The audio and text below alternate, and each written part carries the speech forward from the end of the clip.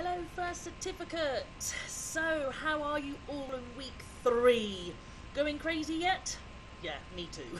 Okay, so today we're going to look at pages 68 and 69. On page 68, there is some speaking part for part four, which is obviously the interactive task. So, when we get back to the academy, hopefully, we'll come back and do the speaking part. But we are going to look at the, the grammar and vocabulary. All right? So we're starting on page 68, exercise 1, looking at articles. Okay? So articles are a, an, and the. So, first of all, in exercise 1, can you complete the rules with the, no article, or a and an?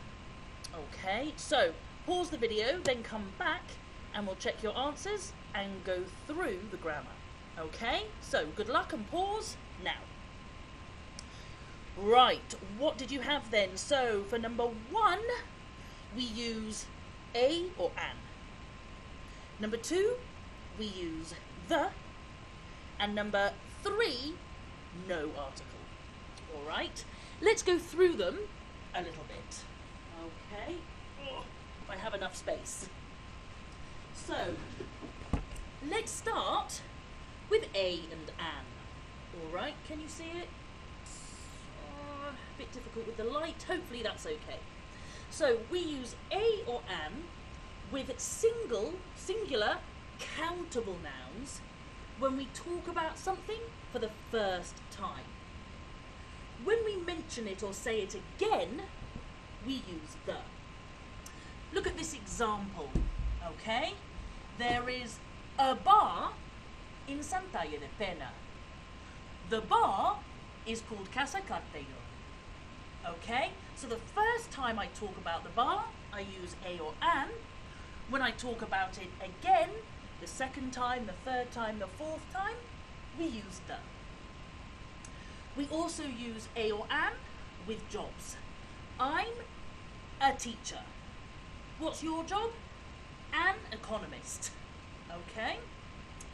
We also use a or an with some number expressions. A quarter, for example. Alright? Now we use the for the mentioning something again. Also if something is obvious. Okay? I'm the victim of a crime, I'm going to the police station. Obviously, I'm not going to the police station in Madrid. It'll be the one that is closest to me. We use the when there's only one of something. The sun, the king of Spain. We use the with superlatives, the biggest, the best. With inventions. Look back at the which page was it when we were talking about the microwave. It's an invention, so we use the. Types of animals musical instruments, and groups of people, the young, the elderly, for example. Now, we don't use an article, wah, hitting myself, we don't use an article when we talk in general about things. We use a plural form. For example, dogs are cool, cats are a little bit weird. The next one then, with abstract nouns, no article. With sports, I like the football, no, I like football. With some illnesses, for example, I've got flu. And also expressions with two when we use work, bed, or school. Okay, what time do you go to the bed? No. What time do you go to bed? When do you go to work? Okay, so with work, bed, and school, we don't use an article. Alright? Oh, got that everywhere. so, now we know the rules, okay, I'd like you to have a look at exercise 2 and 3. In exercise 2, you need to correct the mistakes that were written by exam candidates. And in number 3, complete the, the gaps with a, an, the, or nothing. All right. When you finish, all right. So press pause when you finish. Come back, and I'll go through the answers with you. No cheating. Pause, and then come back. All right. Good luck, and pause now. Okay, we're back. So let's have a look at exercise two. Okay, I'm going to read the correct sentence for you. Number one, I have just recovered from flu. Number two, I think one of the most important inventions is the telephone. Number three, he was an officer in the army. Number four, I think cars are the greatest danger of all. Number five, there was a 7.8% increase in sales last year. Number six, I enjoy riding more than playing the piano. Number seven, I am an engineer in Shanghai. And number eight, I must tell you, I found a very interesting job. Okay, all correct? Excellent. So exercise three then, A, and, the, or nothing. Okay, so first, Lena. I think geology would be the most interesting science to study. It's a pity we don't do it at school because I like the idea of becoming a geologist. Felix. I think the one that appeals to me most is zoology. It'd be fantastic to get a job in the countryside in Africa studying animals like the lion or leopard. Did you get them all correct? Perfect. Now, if you have any questions or any doubts, obviously you can email me. Also, if you look at page 110 in your book, the grammar reference, it goes through some of these articles. Okay? But let's move on now and have a look at some vocabulary. All right, on page 69, looking at collocations. Now, collocations are words which go together. Okay? For example, if I say long, blonde, what would you say? Hair. Exactly, because these are words which commonly go together.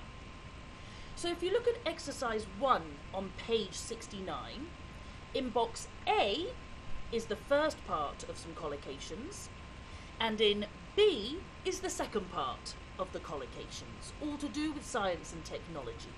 All right? So once again, hit pause. Can you match the collocations?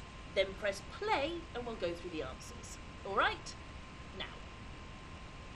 Okay, we're back. So, what do we have first of all? We have. Attach a file, browse websites, carry out an experiment, charge a mobile phone, prove a theory, run a program, store data, and undo a change. Be careful with the spelling here with run a program. When we're talking about a computer program, P R O G R A M. When we talk about a TV program, the end is double M and E. Okay, so be careful with the spelling of that, depending on if it's for a computer or science or if it's for TV. Okay? So now in exercise two, we're looking again at some collocations. Fairly simple, you need to complete the sentence with the correct option, A, B, C or D. But also underline the word or words in the sentence that the answer collocates with. Let's look at number one as an example. Zena's voice was very mm, over the phone. I could hardly hear her. The four options are faint, pale, dull, and faded. Here, the correct option is faint. Okay? And faint collocates with voice. Okay? A faint voice means very quiet and I can't hear very well. Alright? So we would choose the correct option A and underline voice in the sentence. Alright? So, once again, hit pause, do the exercise, and then come back to the answers. Alright? Good luck. Hit pause.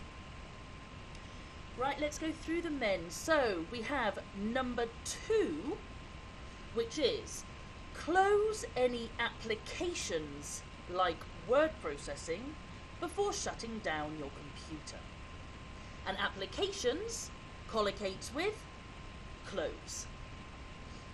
Number three then, it's easy to display the text on the screen and the collocation is with screen. Number four, my PC crashed and wouldn't start up at all. Crashed collocates with PC. Number five, 13 times 17 is 221, I think. And times collocates with both numbers 13 and 17. Number six, the accident was caused by a combination of poor maintenance and human error, and the collocation is with of.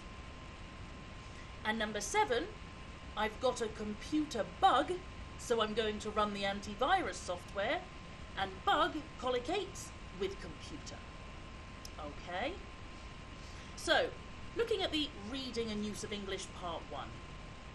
Okay, you have a text which has eight spaces in it, which you need to complete with the correct option, A, B, C, or D.